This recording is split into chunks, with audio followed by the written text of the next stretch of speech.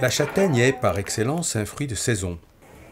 On la voit apparaître sur les marchés entre octobre et décembre, au moment de la récolte ou, après, durant encore quelques semaines. Dans les régions où cet arbre était l'un des piliers les plus importants de l'économie locale, la vie quotidienne des paysans était totalement dépendante du cycle végétatif du châtaignier et de la culture et entretien de cet arbre.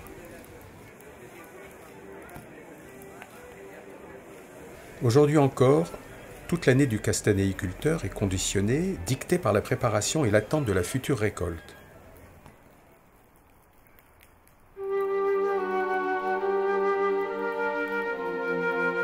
En hiver, le châtaignier a fini son cycle végétatif et la châtaigneraie est au repos. C'est la période durant laquelle l'arbre sommeille. Mais cette période de dormance et de repos ne concerne pas le castanéiculteur, car pour lui, l'entretien de la châtaigneraie est quasi permanent.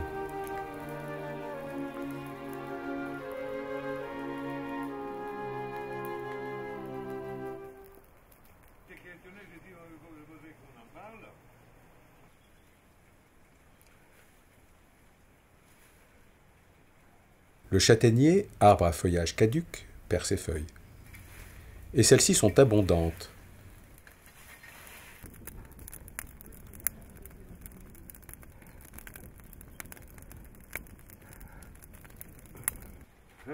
Dans les vergers entretenus, le travail de nettoyage est très important pour garder le sol propre et aussi pour éliminer tous les parasites qui portent préjudice à cet arbre.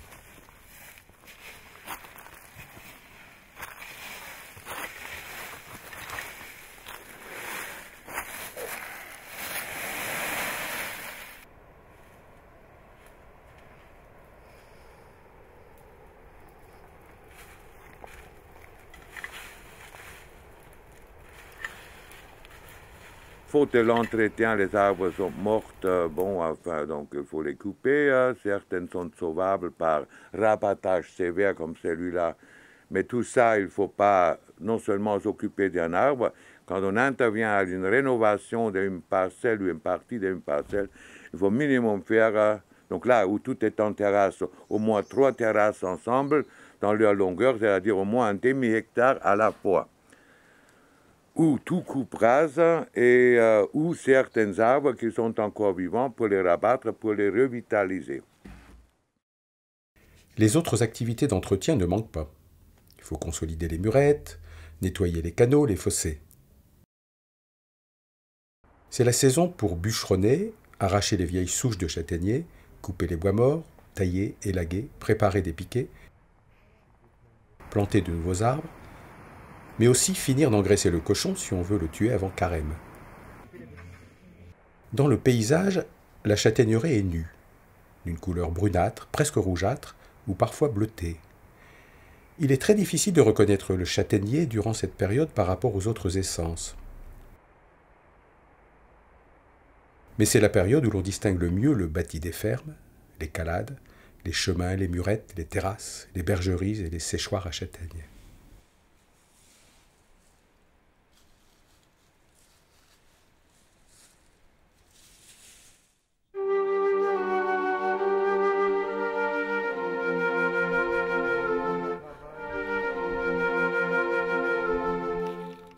Si la châtaigneraie procure de nombreuses activités en hiver, le cycle du châtaignier démarre réellement au printemps avec les premiers mouvements de sève. Parmi les arbres à feuillage caduc de nos régions, le châtaignier a une caractéristique étonnante. Il débourre très tardivement. Tandis que les noisetiers, les saules, les merisiers, les chênes et les hêtres, ainsi que tous les arbres fruitiers, ont fleuri et mis leurs feuilles le châtaignier, lui, n'a pas encore bougé. Ce n'est que vers la fin du mois d'avril, début du mois de mai, que ces bourgeons vont éclore. Ce sont de gros bourgeons brun-rouge de forme triangulaire, à base large, qui vont laisser apparaître dans quelques jours une pousse verte. L'arboriculteur, surveillant de près les premiers frémissements de la sève dans l'arbre, va se consacrer alors au greffe des arbres qu'il souhaite multiplier. C'est par cette technique du greffage, très ancienne, qu'a pu se faire la domestication des espèces fruitières. Historiquement, on peut dire que la domestication d'une espèce fruitière commence vraiment quand on arrive à la multiplier végétativement, ce qui permet de fixer des variétés, ce que l'on appelle aussi cultivars, jugées intéressantes. Si le lieu et l'époque de la découverte des techniques de greffage sont inconnus, cette invention est essentielle pour l'amélioration des espèces fruitières. Pour Frédéric, il va falloir trouver des jours favorables pour entreprendre ces greffes, à savoir des jours secs et sans vent de temps. Mais il ne devra pas trop attendre non plus, car si la sève circule avec force, là il sera déjà trop tard. Cela suppose d'avoir choisi, taillé et préparé les greffons à l'avance. Le châtaignier produit de nombreux rejets. Les plus beaux sont utilisés pour les greffes. Une greffe permet de reproduire la variété de châtaignier que l'on souhaite sur un porte-greffe de châtaignier.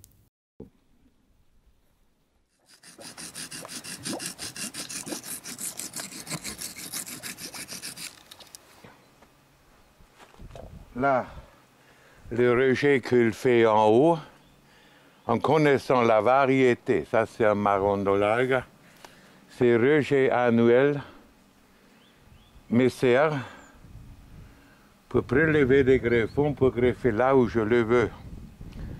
À cet endroit, l'arbre n'a pas de valeur. Regardez la mousse, il est en train de pourrir. Pourquoi? Il y a trop d'eau ici dans ces coins à travers l'année. Et les châtaigniers n'aiment pas trop d'eau non plus. Hein.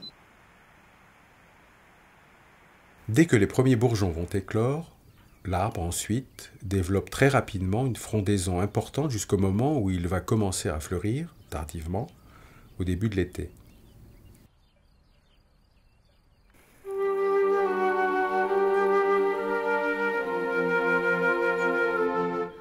Entre juin et juillet, l'arbre se couvre de fleurs. C'est le moment où l'on distingue le mieux la présence des châtaigniers sur les flancs des montagnes car ils sont alors reconnaissables à leur couleur très claire, due à la blancheur des nombreuses fleurs qui poussent en bout de branche.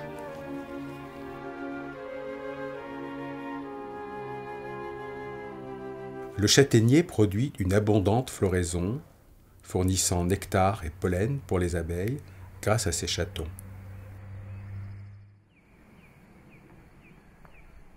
Cette floraison est très tardive, c'est même l'une des plus tardives parmi tous les arbres fruitiers, puisqu'elle n'a lieu que fin juin ou début juillet. Alors que de nombreux arbres, tels les amandiers, les merisiers, fleurissent dès le mois de février et la plupart des autres en mars ou avril. Les apiculteurs transhumants recherchent ce miel de qualité et n'hésitent pas à déplacer leurs colonies en masse dans les châtaigneraies.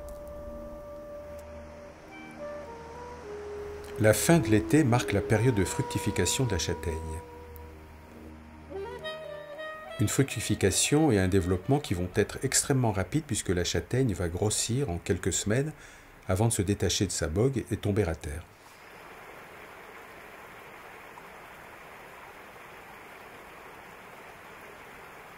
Le cycle végétatif du châtaignier, du débourrement à la maturité des fruits, qui a lieu de la fin septembre à la fin octobre, est extrêmement court, de 140 à 160 jours, et la période entre la pollinisation et la maturité des fruits est encore plus courte, puisqu'elle ne dure qu'entre 75 et 115 jours.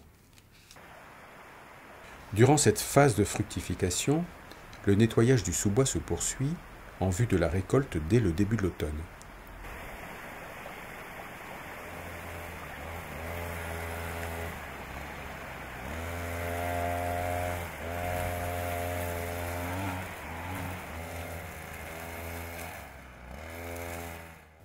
Si autrefois les paysans laissaient les moutons pâturer dans la châtaigneraie, ce nettoyage se fait à présent à la débroussailleuse portative.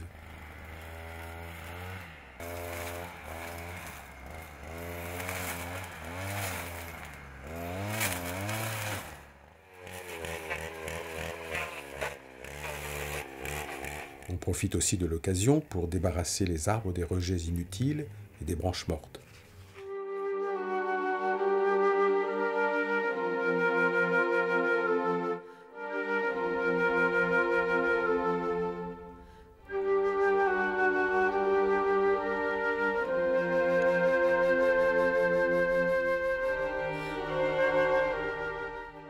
Dès la fin septembre, avec la chute des premières châtaignes, démarre véritablement la saison castanéicole. Voici venu le moment de la récolte. Celle-ci se fait généralement à la main, mais il existe aussi d'autres systèmes de cueillette plus ou moins mécanisés.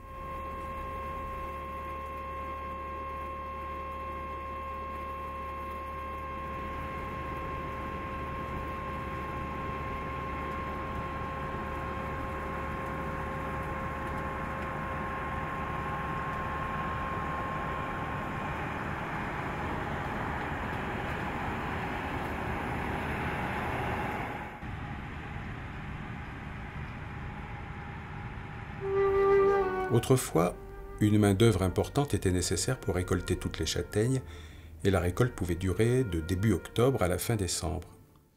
Lors du maximum démographique, les châtaigneraies occupaient des surfaces très importantes, car la population consommait énormément de châtaignes. La production en France, au XVIIIe siècle, s'élevait à plusieurs milliers de tonnes. Pour éviter le développement des moisissures et des parasites, déjà contenus dans la graine, la châtaigne doit être ramassée rapidement. Tiens Fred, regarde, prends-le. Hein. Le dernier sac que je viens de mettre, à mon avis, on le complète avec ce qui, ce qui reste dans le seau. Jusqu'à une époque récente, le ramassage était effectué manuellement, ce qui est encore le cas surtout dans les châtaigneraies traditionnelles du Massif central, de Corse ou du Massif des Morts.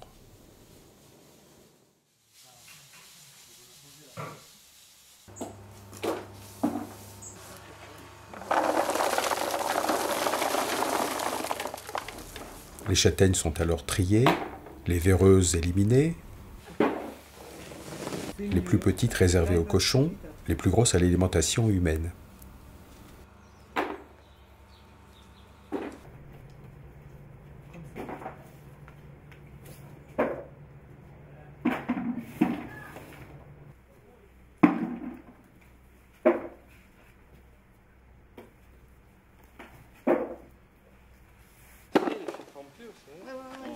Moi, j'ai fait la pièce derrière aussi, j'ai fini.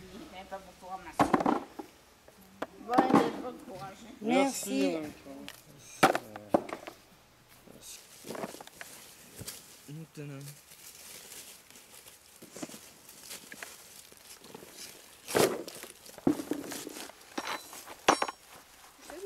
C'est bon.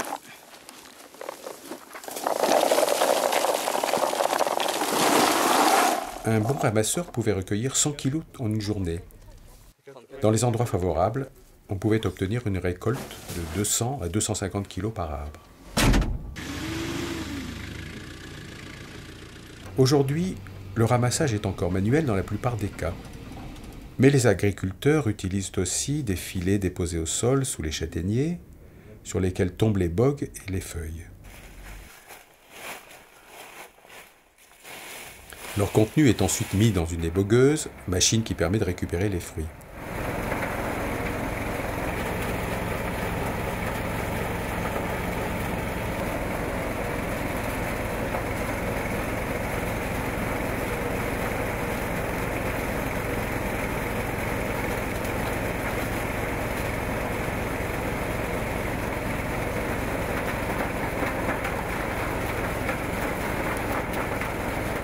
Certains suspendent des filets pour que les châtaignes ne touchent pas le sol.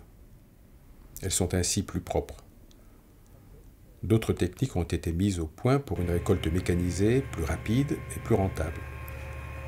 On utilise parfois des systèmes par aspiration, surtout dans les zones qui ne sont pas suffisamment planes ou accessibles.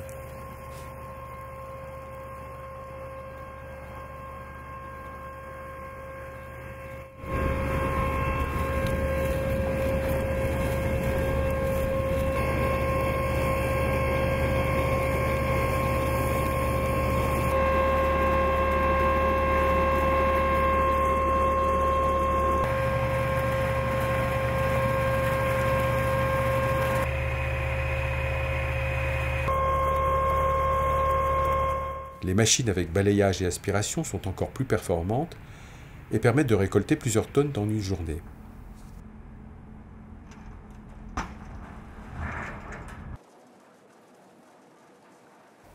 Les châtaignes sont ensuite passées à la calibreuse qui les trie selon leur grosseur.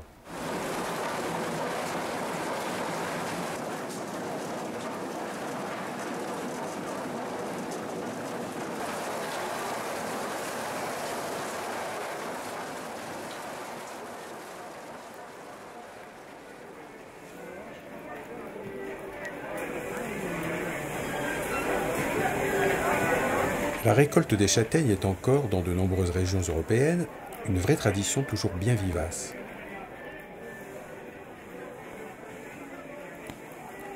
C'est aussi la saison où l'on va manger les châtaignes grillées au coin du feu, dans les châtaigneraies, ou dans des fêtes populaires qui, à présent, fleurissent un peu partout dans les régions de tradition castanéicole.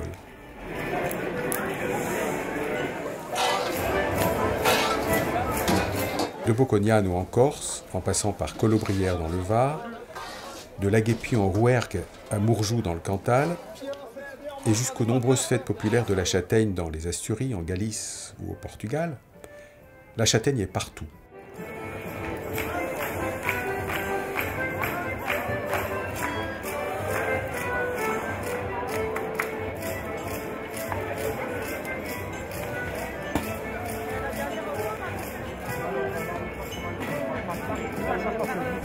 Dépêchez-vous, il n'y en a plus. Criez, confiture, nature, au sirop, tradition, les bucs, le miel. On y, on y est en plein dedans. Chaud les marrons. La cuise, la cuise. Vous voulez goûter mes castagnes? C'est pas grave, ça, ça.